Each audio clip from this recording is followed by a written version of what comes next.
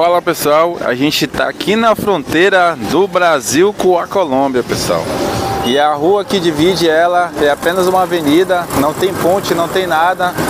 Aqui estamos no Brasil. Se eu passar para cá, aqui já é Colômbia, pessoal. Estou bem no meio aqui da divisa Brasil com Colômbia. Olha aqui, pessoal, a placa que divide a Colômbia com o Brasil.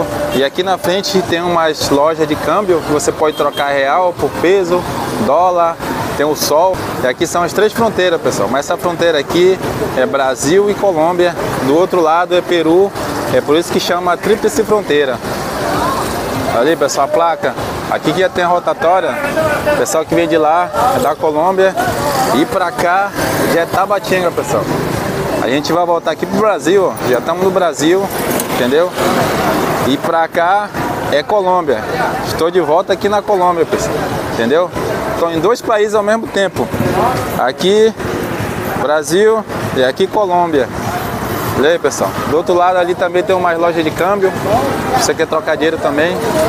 E para cá você pode comprar com real, mesmo sendo Colômbia, porque as pessoas, os lojistas, eles aceitam o dinheiro brasileiro. E também aqui no Brasil as pessoas aceitam dinheiro colombiano, que é o peso e uma coisa que eu posso falar para vocês, a melhor coisa se você quer conhecer a Letícia, quer fazer compra Letícia, a melhor coisa é vocês trocar.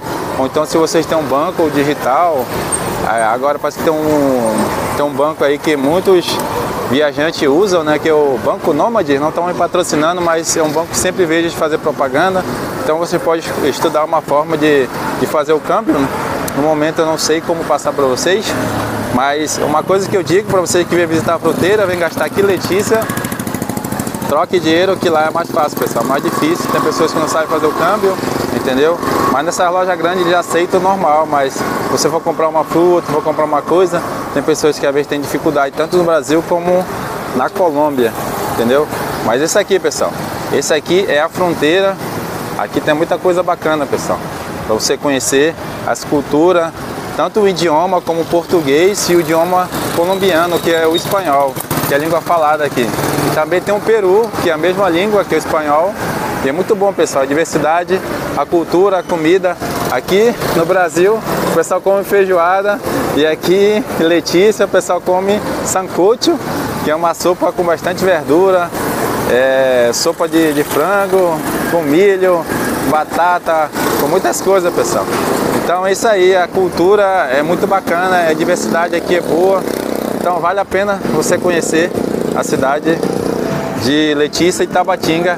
E a gente está aqui na fronteira, Colômbia e Brasil. Estão voltando aqui. Aqui nesse momento estou na Colômbia, agora voltando para o Brasil de novo. E aqui tem muita loja aqui nessa parte. As pessoas vendem brasileiro e colombiano. Aqui é uma loja no caso, é uma distribuidora, tem muita coisa aqui.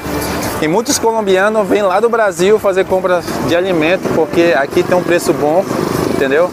As pessoas costumam comprar comida aqui no Brasil e comem lá na Colômbia.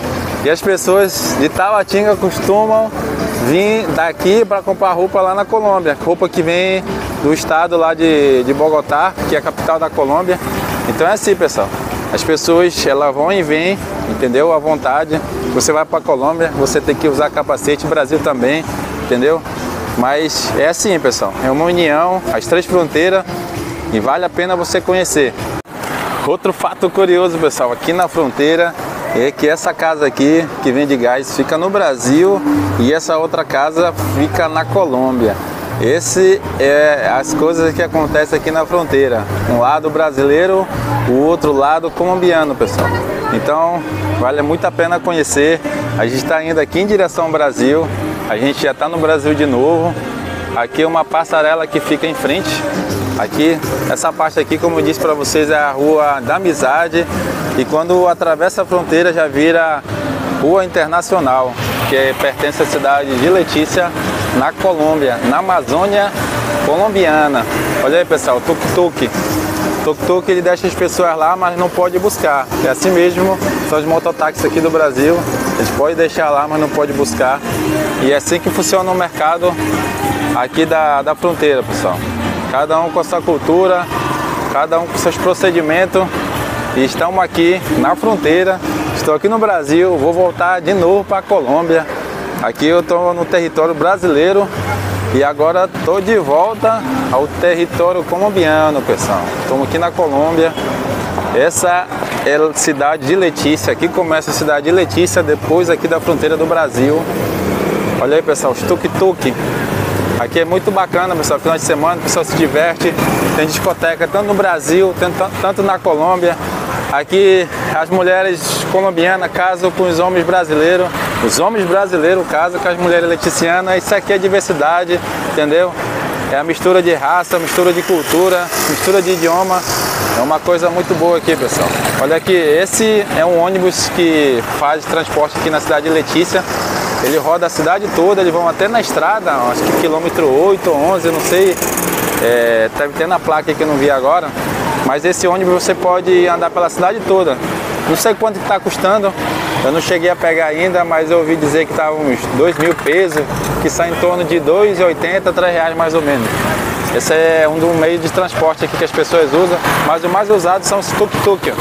Aqui na capital aqui do Amazonas, mas não é brasileiro, é, é colombiano. Aqui é a base do tuk-tuk, pessoal.